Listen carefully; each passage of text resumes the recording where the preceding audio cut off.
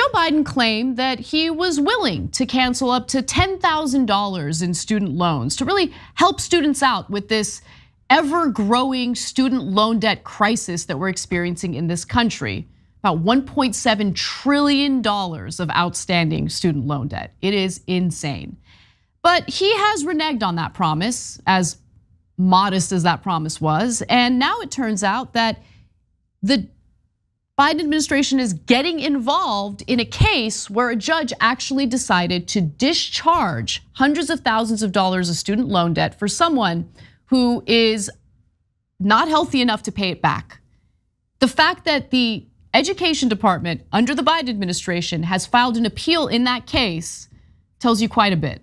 So first, before I get to what the Biden administration is doing, I think it's important to give you context about the case. So it involves a student, a former student who has graduated, graduated back in 2010, who's suffering from some very serious health issues and as a result is not gainfully employed and can't pay back loans. Now on January 14th, a federal judge in Biden's home state of Delaware moved to eliminate nearly $100,000 in student loan debt held by this 35 year old epileptic man. In response, the Justice Department filed a notice of appeal in the case on behalf of Education Secretary Miguel Cardona. Why would you do that? We're talking about someone who is not healthy enough to earn a living to pay back those loans. Why would you appeal the judge's decision? Well, uh, let's give you more details on just how difficult it would be for this student to be able to pay back his loans. A bankruptcy judge found that Ryan Wolfson, who held nearly $100,000 in student loan debt, faced undue hardship due to the debt and eliminated all of it. According to the lawsuit, Wolfson graduated from Penn State back in 2010 and struggled to find full-time employment. In 2019, while Wolfson was working full-time driving for Uber, Lyft, and Grubhub, he suffered a seizure while driving and totaled his vehicle. I mean, it is an incredibly depressing story. I mean, my heart goes out to this guy. He's he's doing what he can. He's trying so so hard, but because of his health issues, uh, because of the fact that he has these seizures, he's unable to be gainfully employed. And to make matters worse, he's got this $100,000 debt on his shoulders, holding him down and he's filing for bankruptcy. And because of Biden's bankruptcy bill years ago, students are unable to discharge their student loan debt even if they file for bankruptcy.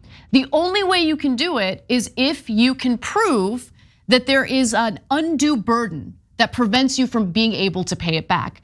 And uh, even though it is incredibly rare for a judge to side with the individual with the loans, in this particular case, the judge is like, yo, your situation is terrible.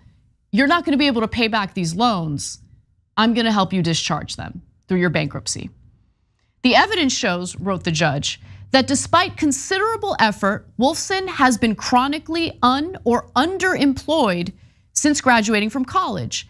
That his sporadic full time employment has consisted of low paying gig work or jobs with little prospect of advancement and that he has avoided living in abject poverty only through significant financial support from his father.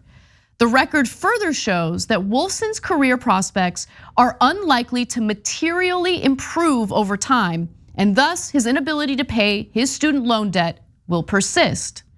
And by the way, just how hard is it to prove that you have an undue burden, that you're or undue hardship that prevents you from being able to pay back your loans? The standard is incredibly high. And the reason why the standard is incredibly high is because Biden fought for that standard to be high as he was championing his bankruptcy bill. Federal circuit courts have interpreted this language in different cases to demand that debtors show a certainty of hopelessness or intolerable difficulties or a total incapacity to repay.